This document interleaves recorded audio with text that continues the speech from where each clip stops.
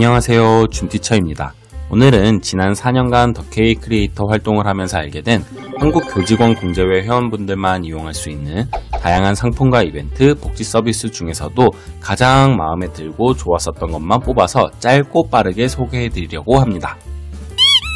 여러분이 보고 계시는 이 화면은 한국 교직원 공제회의 홈페이지 화면인데요. 최근에 한국 교직원 공제회의 홈페이지가 새 단장을 하면서 굉장히 보기 쉽고 접근하기 편하게 바뀌었습니다. 홈페이지에서 보면 상단에 금융상품, 그 중에서도 저는 장기저축급여를 여러분들한테 소개해드리고 싶은데요. 장기저축급여 같은 경우는 여러분 보시면 아시겠지만은 저율과세라는 큰 장점이 있습니다. 이게 무슨 얘기냐? 장기적으로 즉 20년 이상 내 급여의 일부분을 저축하신 분들에게는 저율 과세로 이자를 지급한다는 얘기인데요. 제가 이거를 보면은 예상 금액들을 쉽게 조회도 이렇게 할 수 있을 뿐만 아니라 어, 여기 보시면 보수나 사업비 수수료 등 비용 부과가 없기 때문에 굉장히 이자를 많이 받을 수 있는 좋은 상품이었습니다. 그래서 저는 이거를 꼭 추천드리고 싶었고 다음으로는 여기 보시면은 저축 상품 중에서도 목돈 급여가 진짜 괜찮았었는데요. 목돈 급여가 괜찮았었던 이유는 가입 종류가 세 가지가 되기 때문입니다. 가입 종류가 어떻게 세 가지냐 여기 보시면 아시겠지만 첫 번째는 부가금형, 두 번째는 예탁형, 세 번째는 적립형입니다. 부가금형 같은 경우는 어, 간단히 말하면은 일정한 주기에 맞춰서 이자를 지급해주는 식입니다. 3개월, 6개월 또는 1년에 한 번씩 이자를 지급해주는 식인데 아무래도 1년에 한 번 지급해주는 게 좀 더 좋겠죠. 두 번째로는 예탁형입니다. 예탁형 같은 경우는 은행에서 예금 상품을 생각하시면 되고 세 번째인 적립형은 은행에서 적금을 생각하시면 되는데 이 세 가지에 대한 자세한 설명은 제가 전에 한국교직원 공제회 유튜브에다가 올려놨으니까 여러분이 한번 참고하셔서 보시면 좋을 것 같습니다. 다음으로 소개해드리고 싶은 상품은 바로 금융상품 중에서도 대여 상품인데요. 어, 대여 상품 중에서도 특별히 덕케이 복지누리 대여를 소개해드리고 싶습니다. 덕케이 복지누리 대여 같은 경우는 우리가 생애 주기에서 특별하게 돈이 많이 필요한 시기들이 있습니다. 예를 들어서 결혼 이런 경우들이 대표적인 거겠죠. 근데 이런 결혼, 출산, 주택대여 같이 인생에서 크게 세 가지의 이벤트가 있을 때 한국교직원 공제에서는 회원 여러분들한테 싸게 대출을 해준다는 거예요.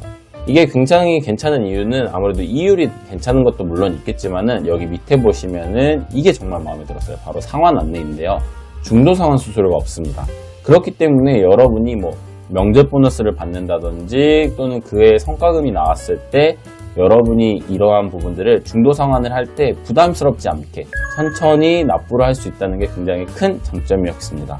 그 다음으로 소개해드리고 싶은 거는 바로 이벤트 복지인데요. 사실 이벤트 복지 같은 경우는 특별히 무엇이 더 괜찮다라는 개념보다는 왼쪽 이 상단에 있는 더케이 이벤트 이 탭을 평소에 자주 보시면 참 좋을 것 같다는 말씀을 드리고 싶어요. 덕케이 이벤트에 들어가 보시게 되면은 현재 지금 하고 있는 이벤트에 대한 것들을 늘 안내를 해주고 여기서 당첨자 발표도 이루어집니다.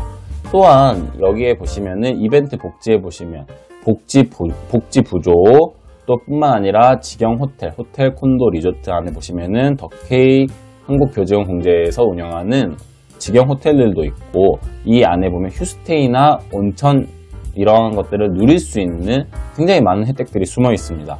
또한 제가 전에도 영상을 올려드렸지만은 어, 여기 보시면 액티비티 체험해 보시면은 어, 여기 웨이브파크 보이시죠? 바로 웨이브파크 같이 액티비티 이러한 레저 활동들을 누릴 때 우리가 굉장히 싸게 누릴 수 있기 때문에 이런 부분들은 여러분이 예의주시하면 참 좋은데 이러한 것들도 한국교직원 공제회의 어, 크리에이터 선생님들께서 유튜브 채널 또는 블로그에 기사글이나 영상을 올려놨기 때문에 꼭 한번 보시면 유용하실 것 같습니다. 자, 마지막으로 여러분에게 소개해드리고 싶은 거는 바로 이 이벤트 복지 탭 안에 숨어있는 상담, 더케이 마음심입니다.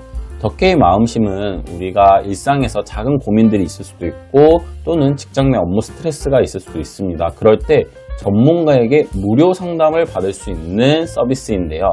이 상담 서비스가 괜찮은 이유는 각자 자신이 살고 있는 지역에서 제휴되어 있는 상담소에 가서 받을 수 있기 때문에 굉장히 괜찮은 서비스라고 생각합니다. 이에 대해서도 많은 선생님들이 블로그와 또는 유튜브에 올려놓으셨으니까 한번 꼭 참고해 보셨으면 좋을 것 같고요.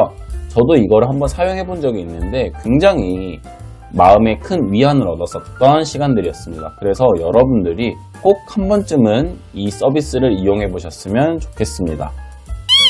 한국교직원공제에는 홈페이지 말고도 다양한 소통 채널을 가지고 있습니다. 블로그, 유튜브 등 조금 더 쉽고 다양한 방식으로 한국교직원공제회 회원분들과 소통을 하려고 합니다. 각 블로그나 유튜브 내에서도 자체 이벤트를 많이 진행하고 있고 채널들끼리 연계하여 이벤트 소식들도 전해주니 관심있게 유심히 살펴보시면 좋을 것 같습니다. 오늘 소개해드린 한국교직원공제회의 모든 것들 제가 4년간 더케이 크리에이터 활동을 하면서 알게 된 내용들을 압축해 둔 것이니 오늘 영상을 보고 한국교직원공제회 회원 여러분들이 한국교직원공제회의 다양한 서비스를 200%로 활용하실 수 있었으면 좋겠습니다.